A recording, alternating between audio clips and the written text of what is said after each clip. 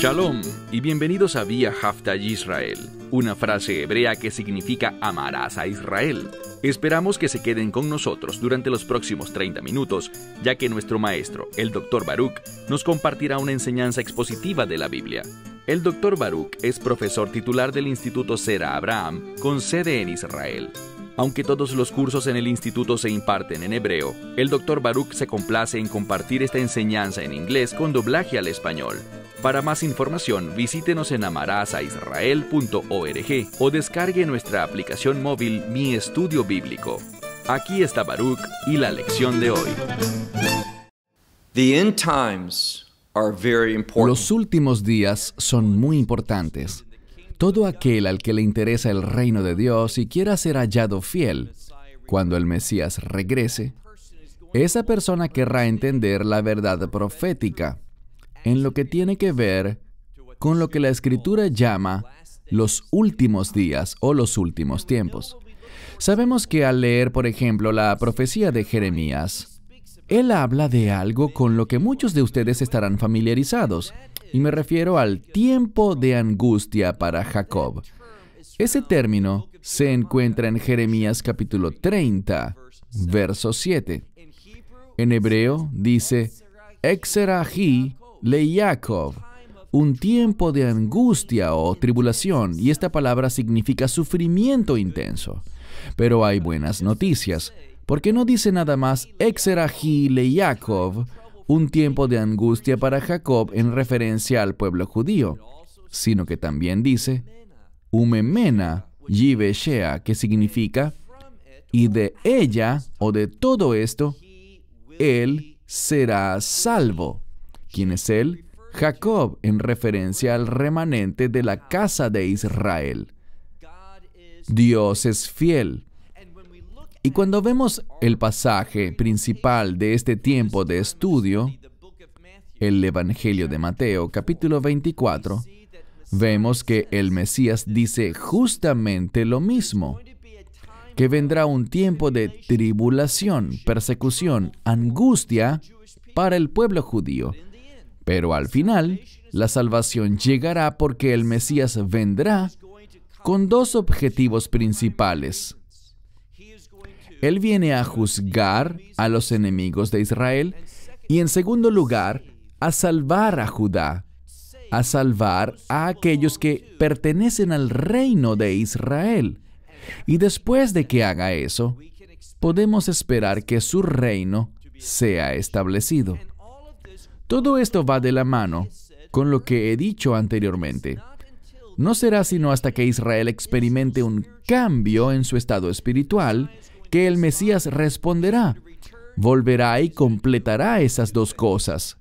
Juzgará a sus enemigos y liberará a Israel con el fin de traerles a la salvación. Y cuando Israel regrese al Señor por medio del arrepentimiento y la aceptación del mensaje del Evangelio, el resultado de esto, como dice Pablo, será vida de entre los muertos. ¿A qué se refiere? Él se refiere a la resurrección. Y siempre que nos topemos con ese concepto de la resurrección, debemos entender que ese término resurrección es una palabra de reino.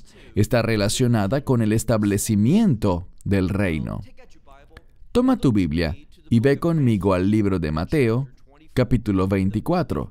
Libro de Mateo, capítulo 24. Concluimos la semana pasada con el verso 15 y vimos que había un evento, un evento de mucha importancia, conocido como la abominación de la desolación. Sabemos que este término es mencionado tres veces en el libro de Daniel, luego lo menciona el propio Mesías en Mateo 24 y sus pasajes paralelos de Marcos y Lucas, y también lo menciona el apóstol Pablo en segunda a los tesalonicenses capítulo 2 y sabemos lo que es. Daniel nos dice que vendrá un rey, un rey malvado, uno que hace lo que quiere hacer.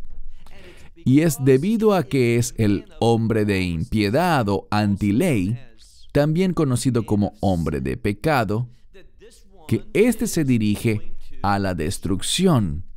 Y esa destrucción se debe a que Él está lleno de rebeldía.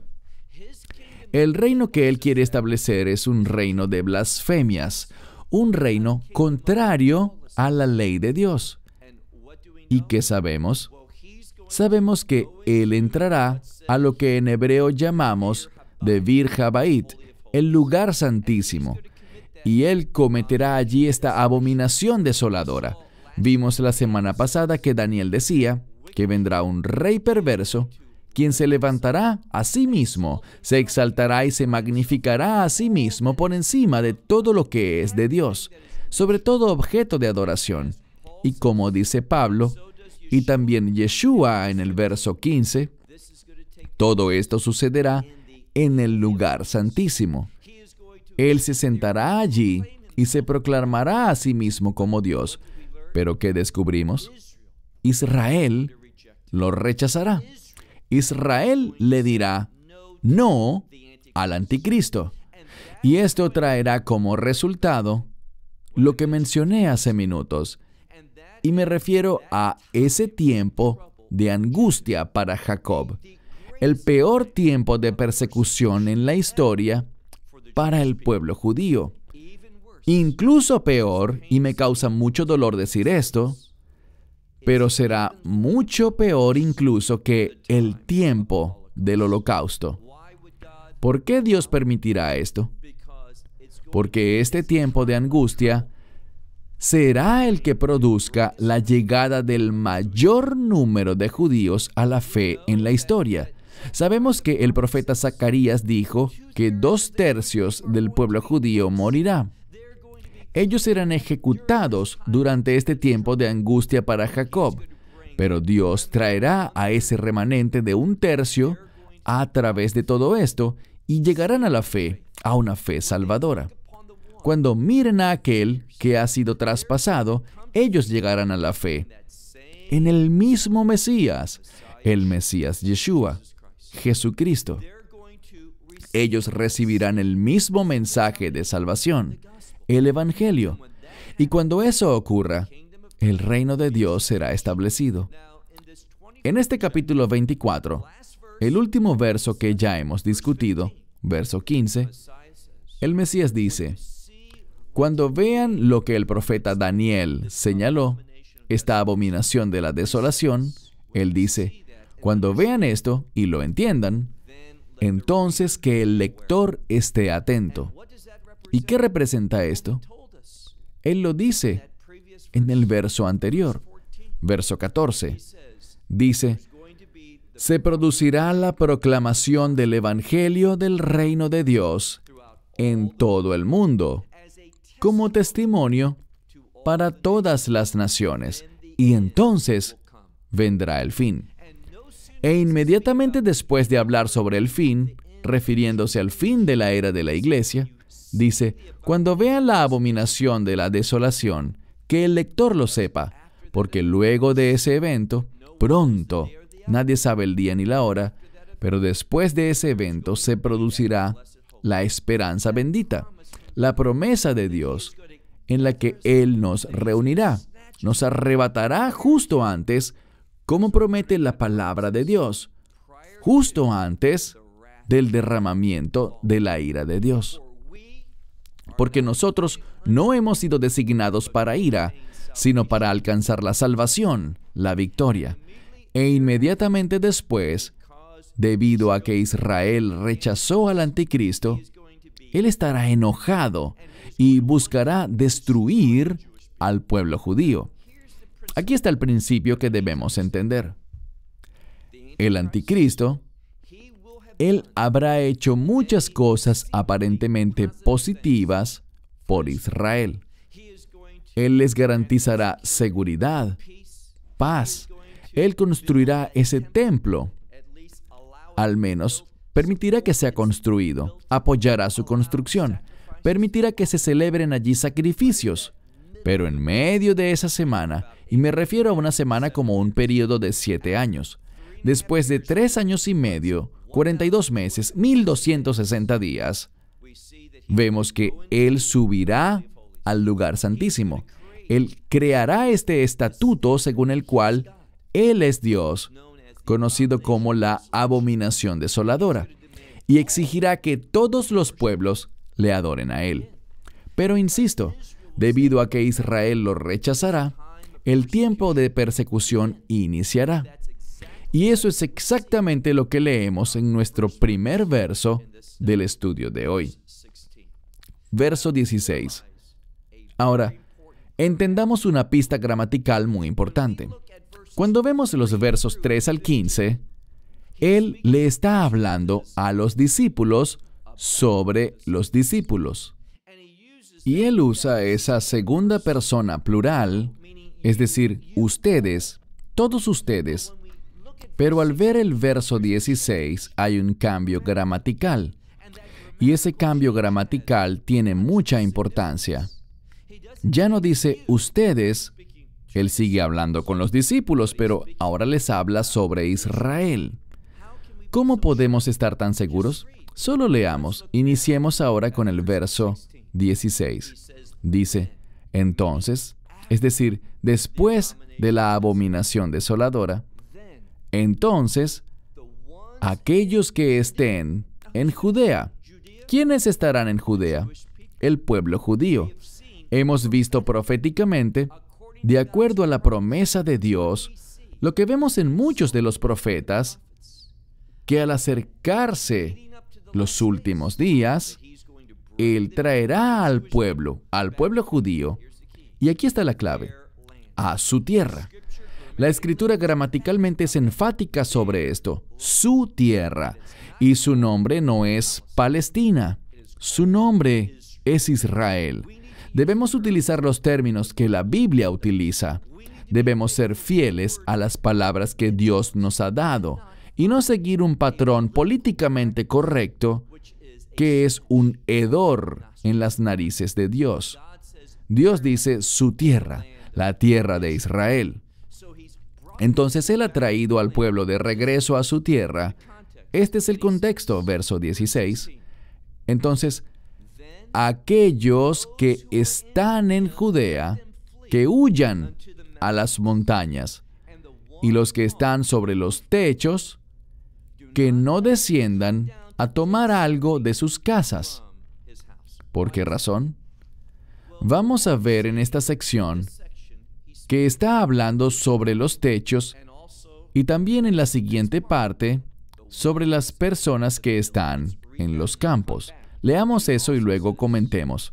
Dice también en el verso 18 que aquel que esté en el campo, que no regrese para tomar su manto. Los techos. De nuevo, necesitamos pensar en la cultura. Yo vivo en Israel y estoy muy familiarizado con nuestros techos. Se conocen como mirpesit y un mirpesit es un lugar en el que la gente se reúne por placer, para descansar o para un tiempo en familia. Y lo que nos quiere decir es esto. Ya sea que estés en un tiempo de ocio, y también dice aquellos que estén en el campo. Los campos son lugares de trabajo entonces nos está diciendo, ya sea que estés en casa descansando o si estás trabajando en el campo, no hay diferencia alguna. No regreses. No regreses, no desciendas, no busques ningún tipo de provisión material. ¿Por qué? Porque no habrá nada material que pueda ayudarte. No tomes cosas de tu casa, no tomes ropa para el viaje. Lo que dice es esto huye y huye de inmediato. Vete a las montañas. ¿Por qué? Bien, veremos la razón en unos minutos. Por ahora pasemos al verso 19. Pero hay de aquellos que tienen, y la palabra literalmente significa vientre, pero es un término coloquial para una mujer embarazada. Dice, hay de aquellas que están embarazadas y de aquellas que están amamantando en esos días. Obviamente, si alguien está embarazada o está amamantando, estamos hablando de mujeres. Y recuerden lo que he compartido con ustedes muchas veces en distintos mensajes.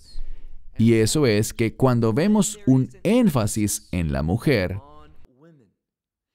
eso trae al texto un cambio en el contexto. Y ese cambio de contexto se refiere a, cuando la mujer es mencionada como figura principal en un pasaje, eso habla de redención. Y noten lo que dice específicamente. Dice ay. Este es un término de angustia. Dice ay de las mujeres que están embarazadas. Ay de las mujeres que están amamantando. Y tanto el embarazo como los niños pequeños siempre se refieren a otra clave profética importante, y es a la siguiente generación. Bíblicamente, cuando se menciona la siguiente generación, hay un énfasis en la redención también, en el establecimiento del reino. Pero debido a que dice hay, lo que nos quiere decir es que esta redención que viene será una travesía muy difícil de completar.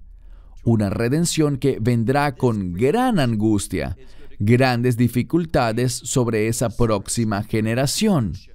Es decir, será muy difícil para los niños y para los jovencitos. Ese cambio no será un cambio fácil. Y luego leemos en el verso 20, ¿qué debemos hacer? Recuerden lo que dijo antes. No desciendan de sus techos con el fin de sacar algo de sus casas. No regresen a sus casas con el fin de tomar alguna prenda de vestir. ¿Por qué? Porque el enfoque debe ser huir, debido a que algo está por suceder. Ya mencionamos de qué se trata. Exerají le Jacob, el tiempo de angustia para Jacob, y lo material no será de utilidad alguna. ¿Qué es lo que sí será de utilidad entonces? Vamos a verlo en el versículo 20. Pero oren con el fin de que su huida no sea en invierno ni en sábado.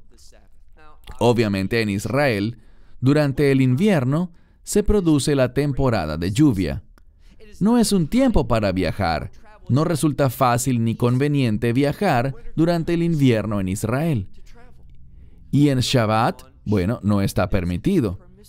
Así que estas son claves que con seguridad este mensaje se dirige a los habitantes de Israel en la tierra de Judea, en Galilea, y dice, oren para que su huida, para que esta huida, esta salida, este viaje, oren para que no sea en invierno o en Shabbat.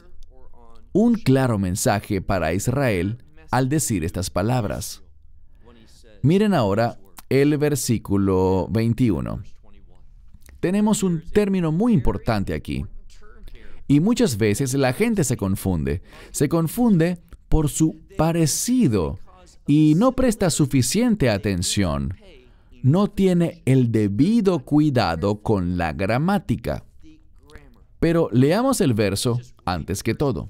Es el verso 21. Para entonces habrá gran tribulación.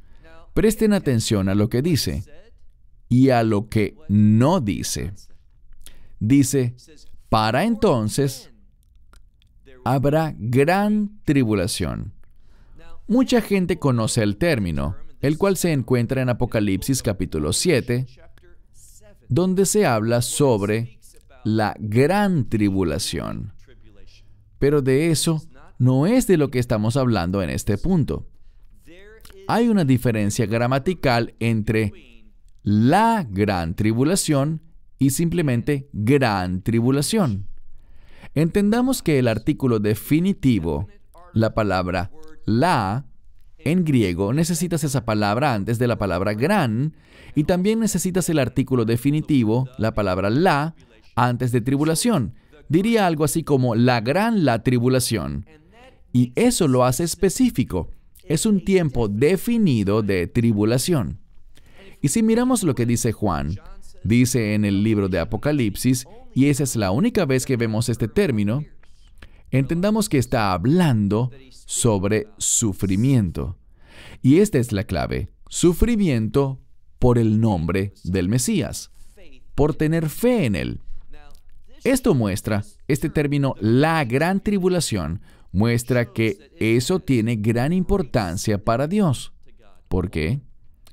Porque aquellos que sufren estarán sufriendo debido a su fe en Yeshua. Serán perseguidos por su compromiso, por su relación de pacto con Él, ya que se han atrevido a pronunciar el nombre de Yeshua. Y el hecho de sufrir por Yeshua hace que tenga gran importancia ante Dios el Padre. El término aquí del cual estamos hablando tiene que ver con un tiempo en el futuro, la gran tribulación, hablando de los creyentes. Tendrá lugar en la primera mitad de la séptima semana de Daniel, pero será después de la abominación de la desolación, en la segunda parte de la séptima semana de Daniel, que encontraremos gran tribulación, es decir, el tiempo de la angustia de Jacob. Eso es a lo que este término gran tribulación se refiere acá. Mira de nuevo el verso 21. Para entonces habrá gran tribulación como jamás ha sucedido previamente desde el principio del mundo hasta ahora.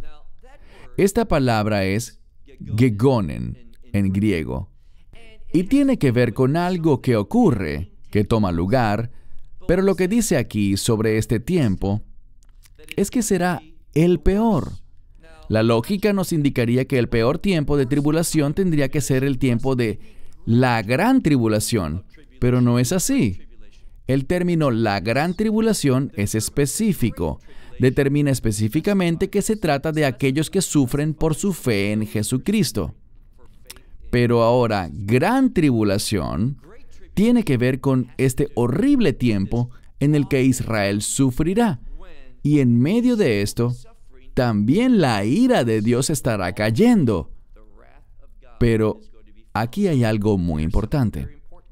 Esa ira de Dios no caerá sobre Israel, de la misma manera que ocurrió en la primera redención en Egipto. Vemos que los hijos de Israel, los hebreos, no experimentaron la misma clase de plagas que experimentaron los egipcios y otros que vivían en Egipto. Dios hizo una distinción entre ellos. Entonces la fuente del sufrimiento durante la angustia de Jacob no es la ira de Dios. Eso no es lo que causará que el pueblo judío sufra y tenga dolor, sino en cambio será la persecución. Una persecución dirigida por el imperio del anticristo. ¿Por qué? Porque ellos no lo recibieron como su Mesías como su Dios. Y por esta razón tuvieron que huir, porque Él, el anticristo, los perseguía. Una vez más, verso 21. Para entonces habrá gran tribulación, como no ha habido, dice aquí, ni en el pasado, ni ahora, ni en el futuro, no ha ocurrido desde el inicio del mundo hasta ahora, dice, y jamás ocurrirá. Verso 22. Y si estos días no fuesen acortados, ninguna carne se salvaría. Pero por causa de los elegidos, y sobre los elegidos aquí me doy cuenta de que Pablo a veces usa este término, los elegidos, en referencia al cuerpo de creyentes, la iglesia. Pero este es Yeshua hablando. Y cuando Yeshua habla y usa este término elegidos, se refiere al pueblo judío, la nación de Israel, aquellos que son judíos por nacimiento porque son descendientes de Jacob. Y Dios será fiel. Él llevará a cabo la redención para un remanente de su pueblo, ese tercio que aún estará vivo. Tristemente, y esto es cierto bien seas judío o gentil, si tú mueres sin tener fe en el Evangelio, estarás eternamente perdido. No hay esperanza alguna. No hay segundas oportunidades después de la muerte. No hay diferencia, judío o gentil, es lo mismo. Pero Dios, en los últimos días, Él traerá a un remanente a la fe. ¿Cómo hará esto? Permitiendo este tiempo de persecución. Habrán quienes busquen la ayuda de Dios. Habrán quienes digan, ¿dónde está el Mesías? Y recordarán ese verso. Baruch Habab Hashem Adonai, bendito el que viene en el nombre del Señor. Ellos clamarán y los cielos se abrirán. ¿Y quién regresará? El Mesías Yeshua. Y mirarán a aquel que ha sido traspasado en referencia a su crucifixión. Ellos entenderán quién es Él y lo que ha hecho, que Él en verdad es el Hijo de Dios, Él es en verdad el Salvador de Israel, y por lo tanto lo buscarán y lo recibirán. Se lamentarán por su muerte, y Él tendrá misericordia de ellos, así como también tuvo misericordia de la gente de toda nación, tribu, lengua y pueblo. Dios no hace acepción de personas. Es decir, Él no tiene favoritos. Pero lo que sí hace Dios es cumplir sus pactos. Y Él guardará su pacto con ese remanente y lo traerá a la salvación. Ahora noten lo que dice aquí. Nuestro último verso, el verso 22, habla de que esos días serán acortados, porque si no, ninguna carne se salvaría. Esos días se acortarán. Les daré una escritura y la pueden leer en cualquier momento. Josué capítulo 10. Todos conocemos el pasaje en el que el sol se paralizó. ¿Qué ocurre cuando el sol se paraliza? El día el tiempo se paraliza. El día se hace largo. ¿Y por qué pasó eso? Dios causó que el tiempo se paralizara, que el día se alargara, para que los enemigos de Israel pudieran ser destruidos. Ahora vemos exactamente lo contrario.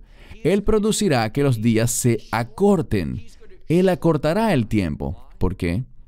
Con el fin de salvar a su pueblo, con el fin de que ese remanente efectivamente sobreviva. Dios es un Dios fiel. Nuestro Dios es un Dios que guarda sus pactos. Él mostró misericordia a las naciones, pero el tiempo de las naciones llegó a su fin y Dios, como dice Pablo, se volverá a la nación de Israel y permanecerá fiel para con el pueblo de Israel. Shalom desde Israel. Shalom from Israel. Esperamos que te hayas edificado con el mensaje de hoy y lo compartas con otros. Te invitamos a seguir nuestros estudios cada semana por este canal y por el portal de YouTube de Amarás a Israel. También puedes descargar nuestra aplicación móvil gratuita Mi Estudio Bíblico. Finalmente, para obtener más información sobre nosotros, visita nuestra web amarasaisrael.org, donde encontrarás otras conferencias de Baruch en audio, video y texto. Hasta el próximo programa. Que el Señor te bendiga en Yeshua Hamashiach Jesús el Mesías mientras caminas con Él. Shalom desde Israel.